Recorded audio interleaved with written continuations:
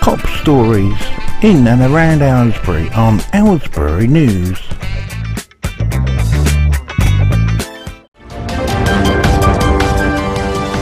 Council's lack of action over fly tipping in Meadowcroft.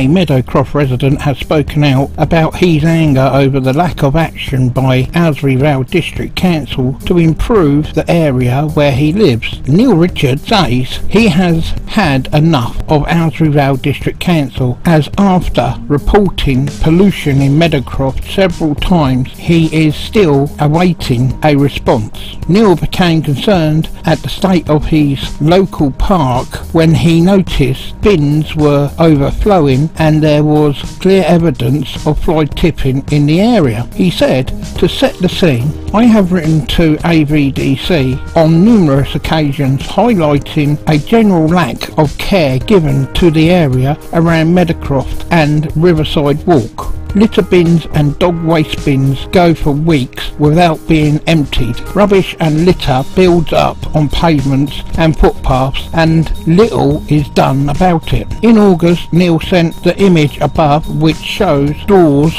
thrown in the River Tyne near to where the water pipe crosses with Meadowcroft to the council. He said, This is an awful situation and a pathetic lack of real response from AVDC and my local councillor. This is not only a pollution issue but dangerous. To be honest, I am sick of having to write to AVD pointing out these things out and wonder whether it's worth it. Surely someone from the council could take a look now and again. Are the contractors getting paid for a service they're not providing? Neil goes on to describe the issue. Meadowcroft is facing, suggesting that it's not getting as much attention from the council as Aylesbury Town Centre. He said, I appreciate Meadowcroft is a poor relation in Aylesbury, as whilst money is spent on nice flowers in the town, we are left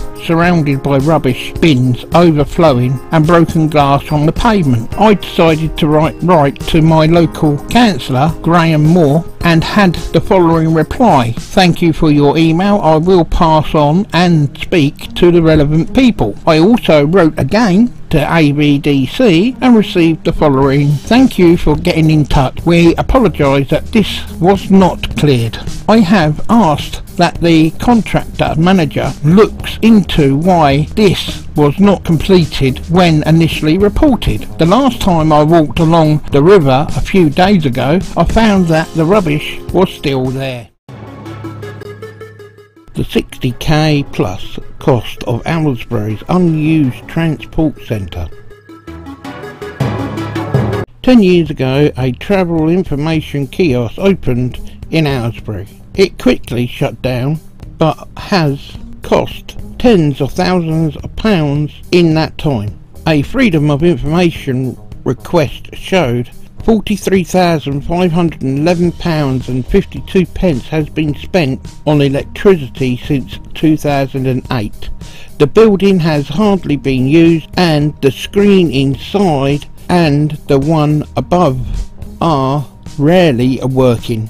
Meanwhile, over £22,000 has gone on businesses rate for the building. The man who submitted the request says it makes no sense when it's never really been used. He also asked the county council if the kiosk could be rented out, making back some money. The FOI requests says the property could be let however as BCC does not own the freehold of the land this reduces our ability to achieve a letting.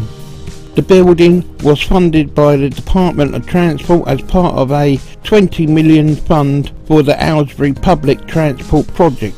A spokesperson for the County Council said, The Travel Information Centre was created to act as a tourist information point and provide advice on walking, cycling and public transport, travel, information, options within Aylesbury.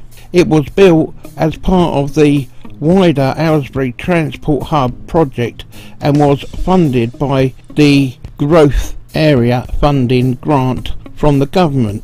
The centre is not currently opening as constraints on the council's budget means it does not have the resources required to staff it. Travel advice and information is now easily accessible online and bus timetables are still displayed on screens within the booth. The site is currently being used as an advertising space. There are no other immediate plans for it, but the site is being kept under review as part of the ongoing development of Aylesbury Town Centre. The council owns the building itself, but not the land upon which it is constructed. As such, it is not in a position to either sell or lease the land, although discussions on its future are ongoing with the landlord. Aylesbury David Bowie statue vandalised again.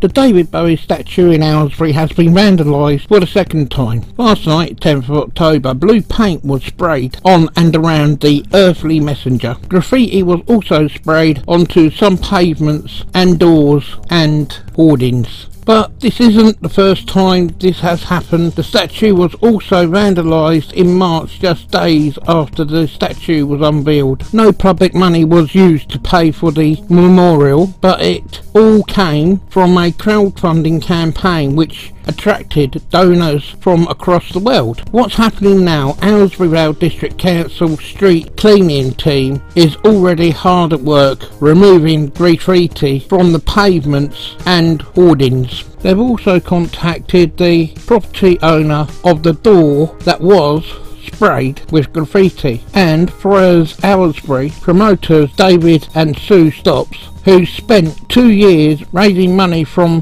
Bowie fans worldwide to create the statue. David Stopps commented, This is so upsetting, especially as we had Earthly Messenger professionally cleaned and whacked only yesterday by the foundry who did the original bronze sculpting. Bowie fans coming from all over the world to see the statue, this really does not do justice to the thousands of local people that support this project. We will be restoring Earthly Messenger to its former glory as soon as possible. AVDC has reported the incident to Thames Valley Police and asked them to view CCTV footage from the town centre to see if the, perpetrators can be identified and brought to justice. Councillor Julie Ward, Cabinet Member for Civic Amenities, said, I'm shocked and saddened by this mindless vandalism in Aylesbury. Not only is it incredibly antisocial, but council taxpayers will also end up having to foot the bill for the clean-up. I'm also mindful of how upsetting this type of vandalism must be for our residents, visitors and the crowdfunders of the earthly messenger statue. Fortunately, incidences such as this are rare in Aylesbury and I hope that all traces of the vandalism can be removed shortly.